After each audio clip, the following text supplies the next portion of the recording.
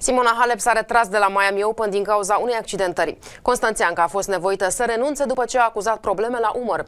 În meciul cu Caroline Garcia din primul tur, Halep a solicitat un timeout medical. În ciuda neplăcerilor de sănătate, au reușit să câștige partida. Halep nu va mai participa nici în proba de dublu de la Miami. Românca făcea pereche, pereche cu Angelique Kerber și era calificată în optimi.